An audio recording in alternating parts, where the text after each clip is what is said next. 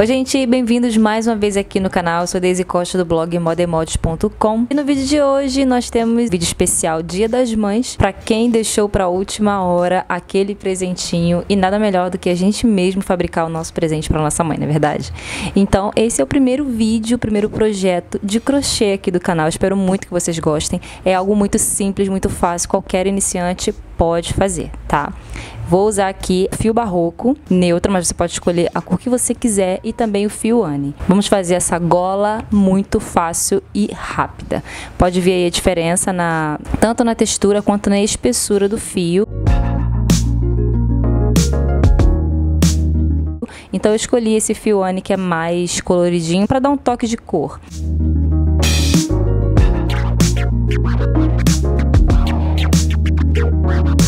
A minha agulha é essa baratinha que eu comprei na revista da Avon, mas em qualquer marinho você compra uma, tá? Se você não tiver. E é o número 7, porque o fio é bem grossinho.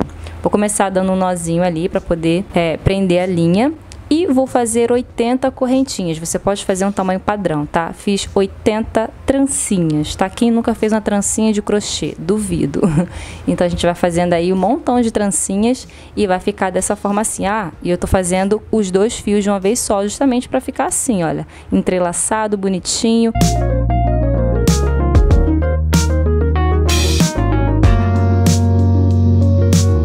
ficou assim, olha. Como o Fioane, ele é coloridinho, então ficou bem bonitinho porque são várias cores. Viu que eu coloquei a correntinha toda de um lado só para ela não ficar torcida, né? E lá no primeiro pontinho eu vou enfiar minha agulha e vou puxar com um ponto baixíssimo para poder fechar ali o meu círculo. É só laçar e puxar por dentro das duas argolinhas.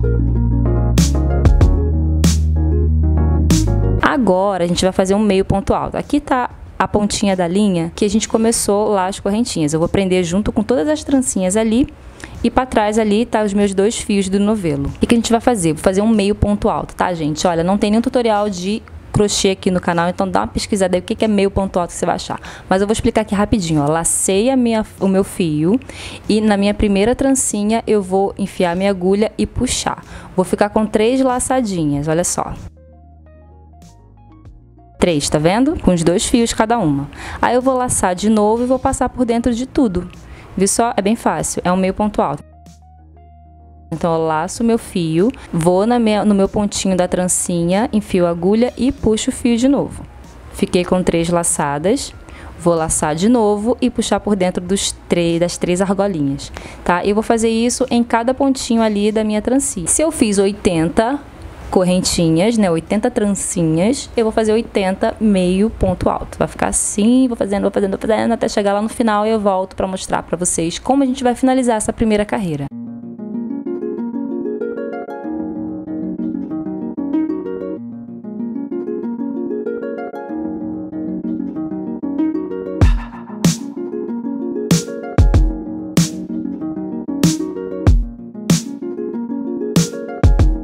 Cheguei aqui no meu último ponto, vou fazer novamente esse mesmo processo do meio ponto alto. Ó, puxei. Cheguei aqui no meu primeiro pontinho, lá de onde a gente começou. Vou enfiar minha agulha e puxar um ponto baixíssimo. Eu puxo e passo por dentro de uma vez só. Quando eu faço isso, eu encerro a minha primeira carreira ali no mesmo nível, tudo certinho, olha. Tenho a minha primeira carreira pronta. Agora a gente vai fazer a segunda carreira. Para isso eu vou subir duas correntinhas ali, ó, duas trancinhas, igual no início. E vou novamente fazer o nosso meio ponto alto. Só que tá vendo aqui esse primeiro ponto da trancinha? Eu não vou enfiar no buraquinho assim, ó. Eu vou pegar só na voltinha de trás, ó. Não vou fazer isso daqui, como normalmente a gente faz. Eu vou pegar só nessa bandinha aqui de trás, ó. Enfiei só na laçadinha de trás. Puxo o fio, aí vou ficar com as minhas três argolinhas, laço de novo e puxo. Vou fazer o meio ponto alto em cada pontinho dessa... Ai, meu Deus. Dessas trancinhas aí do, da primeira carreira, tá bom? e aí a gente vai fazer isso sempre pegando só na laçadinha de trás. Fui fazendo ali em toda a minha carreirinha.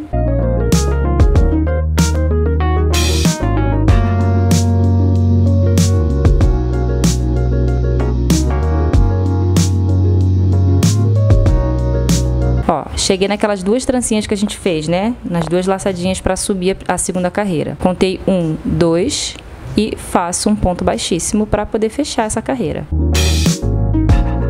Subo uma, duas correntinhas e vou fazer novamente a minha terceira carreira da mesma forma. Lacei a, a, o fio, peguei na correntinha de trás do pontinho da base anterior, puxei de novo por dentro de tudo. E aí eu vou fazer a terceira carreira, a quarta carreira, a quinta carreira e vou fazer 20 carreiras e você pode fazer quantas carreiras você quiser. Esse efeito aqui relevo que dá quando a gente pega na laçada de trás, tá vendo? E aí você vai fazendo quantas carreiras você quiser. Eu fiz 20, tá? Que eu não queria uma coisa muito grandona, mas você pode crescer até o seu novelo acabar. Mas eu não quis muito exagerado não. Para finalizar, quando você terminar todas as carreiras que você quiser fazer, aí você corta o fio, puxa e a gente vai finalizar isso aqui. Vou puxar esses dois fiozinhos para dentro ali da peça, tá? Pro avesso puxo por alguns pontinhos ali para prender. Depois eu pego só um fiozinho deles. Se você estiver trabalhando com um fio só, aí você parte ele no meio com a ajuda da pontinha de um alfinete, abre ele no meio e dá um nozinho e corta a ponta. Depois disso, meu amor, está pronta